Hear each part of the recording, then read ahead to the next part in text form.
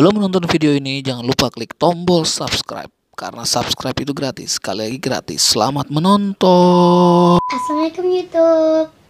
Halo YouTube. Assalamualaikum YouTube. YouTube. Assalamualaikum teman-teman YouTube. YouTube.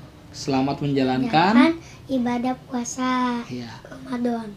Di konten kali ini, saya Harif Fadilah dan Aku Gavin Ataya Aidil, Aidil Fadila. Panggil aja aku Gavin. Oke, panggil aja dia Gavin.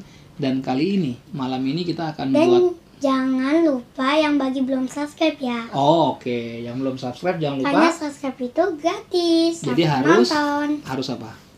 Subscribe Karena subscribe itu gratis. Oke, jadi malam ini kita insya Allah selama bulan Ramadan kita akan bikin konten yang bersifat islami. Ini akan diperagakan oleh Gavin dan saya.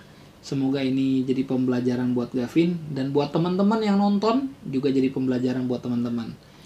Kalau ada komentar, ada masukan, boleh ditulis di kolom ko, Komentar. boleh di like, boleh di share kalau dirasa video ini ber Kah. bermanfaat. Kalau bermanfaat kan jadinya berkah. Oke.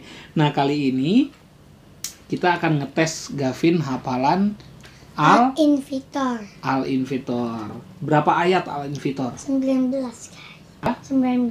Oke, nanti Gavin akan baca bahasa Arabnya, bahasa Al-Qur'annya dan ayah akan baca Artinya artinya. Insya Allah kita mulai. Sebelumnya jangan lupa subscribe karena subscribe itu gratis. Oke, subscribe. Ayo.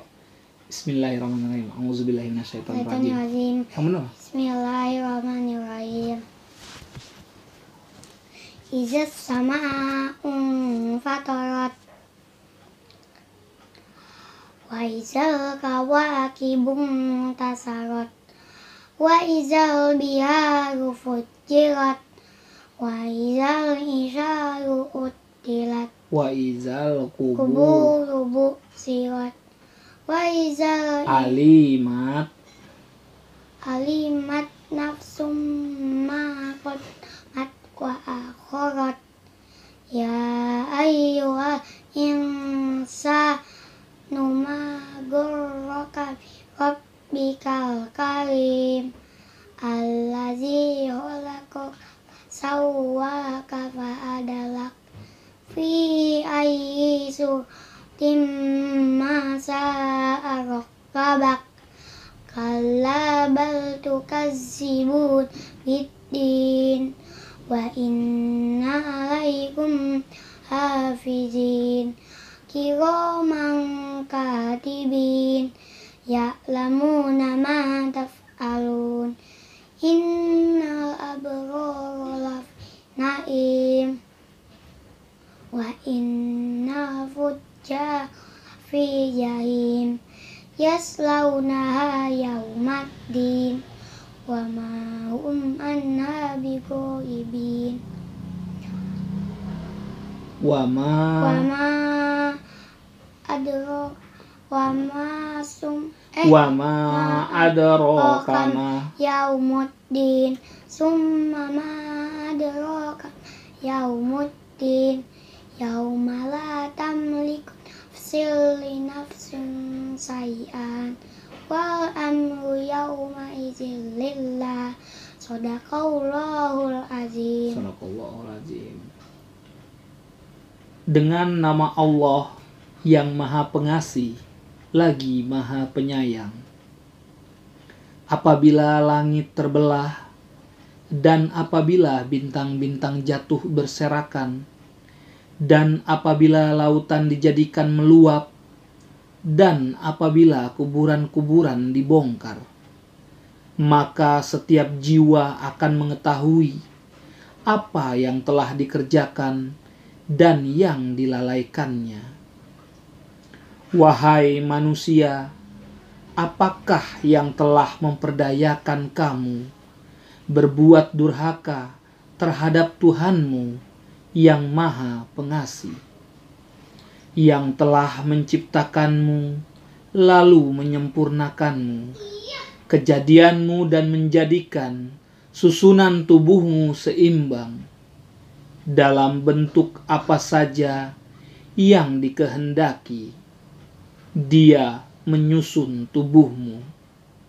Sekali-kali jangan begitu, bahkan kamu mendustakan hari pembalasan. Dan sesungguhnya bagi kamu ada malaikat-malaikat yang mengawasi pekerjaanmu, yang mulia di sisi Allah dan yang mencatat perbuatanmu. Mereka mengetahui apa yang kamu kerjakan. Sesungguhnya orang-orang yang berbakti benar-benar berada dalam surga yang penuh kenikmatan. Dan sesungguhnya orang-orang yang durhaka benar-benar berada dalam neraka. Mereka masuk ke dalamnya pada hari pembalasan, dan mereka tidak mungkin keluar dari neraka itu. Dan tahukah kamu apakah hari pembalasan itu? Sekali lagi, tahukah kamu apakah hari pembalasan itu? Yaitu pada hari ketika seseorang sama sekali tidak berdaya menolong orang lain, dan segala urusan pada hari itu dalam kekuatan Allah. Sadaqallahul azim. Azim. Demikian surat dari Al. Mohon maaf kalau ada salah-salah baca. Boleh kasih komentarnya di kolom komentar. Kalau nanti kita mau bacain surat apa juga boleh dikasih di kolom komentar.